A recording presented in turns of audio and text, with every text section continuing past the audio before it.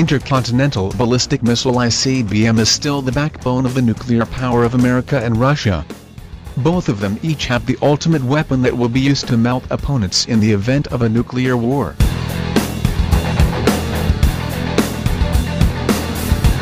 Currently Russia relies on the RS-18 Satan. While America has the LGM-30G Minuteman III how do the two compare? Russia itself calls this weapon the R-35M which was developed from the R-36 NATO calls it the SS-9 Scarp. The R-35 was first tested in 1971 and eventually evolved into the R-36M family, known in the West as the SS-18 Satan. A first batch of 56 missiles were deployed in 1977. These missiles were later replaced by a more modern variant with the newest being the R-36M2 Voyvoda which was first deployed in 1988. The SS-18 Satan is a very capable missile, mainly due to its high speed and very high throw weight. Russia and is still ahead of the West in the development of missile engines even by America. R-36M2 missile has a range of 11,000 kilometers and carries up to 10 MIRV with a blast yield of 0.75-1 MT and up to 40 penetration aids. So its nuclear warheads are difficult for air defense systems to intercept. It is this power that has no equal today.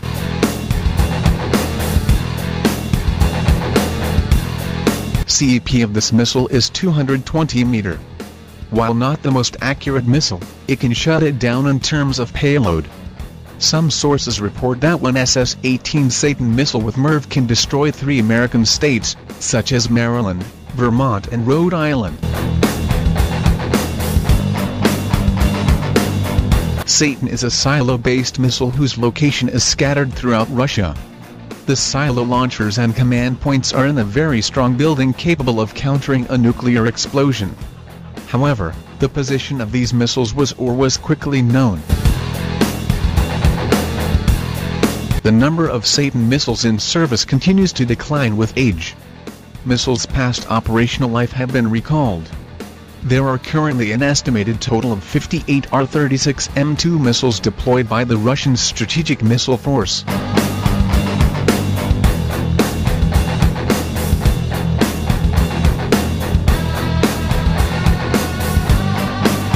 Now let's look at the LGM-30G Minuteman III. This is the most ICBM in the United States.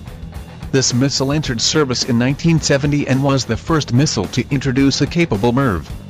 Despite its old age, various improvement programs are being implemented to maintain its combat effectiveness until it is expected to be operational until 2030. Minuteman III is a silo-based missile. With the retirement of the LGM-118 in 2005, the Minuteman III has become America's only ground-based ICBM currently in operation and is a pivotal force in America's nuclear trinity. There are 450 missiles of this type in the American service with 50 to 75 other missiles in reserve. This number makes it the ballistic missile with the largest number in the world. The downside is that this missile is stationary and its position is known.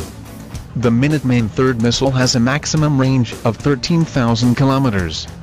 The inertial navigation system provides it with an accuracy of about 200 meter CEP, but the updated inertial guidance system gives it a CEP of 120 meter. The Minuteman III carries MIRV payloads, each armed with a nuclear warhead with a destructive power of between 300 and 500 kilotons.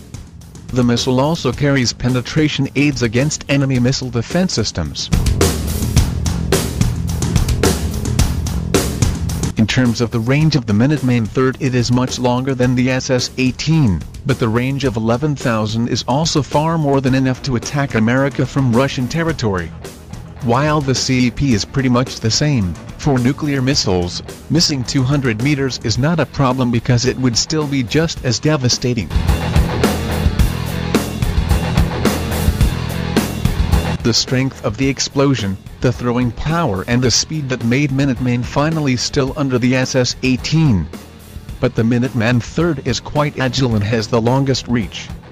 And the numbers are so large that it is a very deadly force.